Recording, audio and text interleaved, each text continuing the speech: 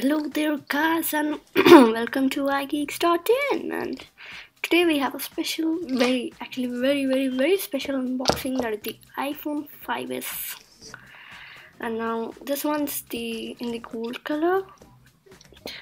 Yes it's the latest offering by the apple which was launched uh, uh, recently as you can see it is priced uh, at rupees 53500 for the 16 GB model. And it's in the gold color as mentioned here. Now on the branding is as usual the typical apple style.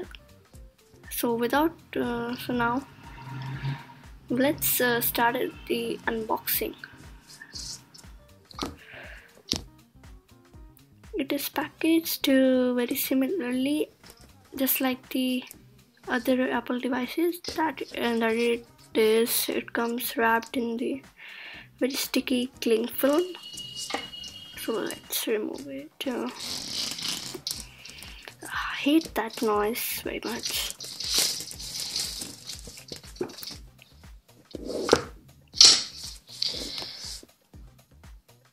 So here it is and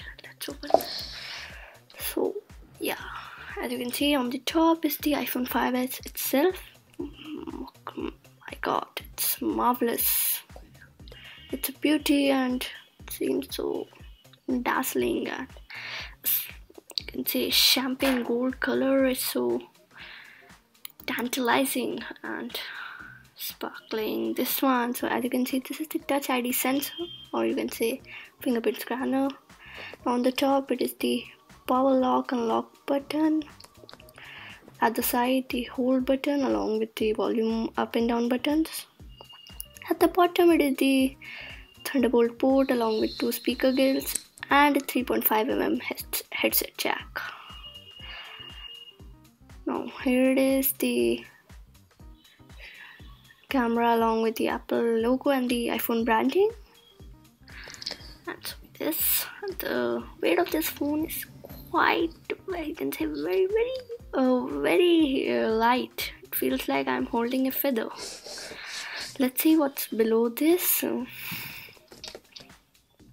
Now it is a, a standard Apple packaging. And let's open this. So at the top you can see it is the SIM card removal tool. And it's a type of pocket and these are the documentation apple stickers etc etc that boring stuff and it doesn't matter at all.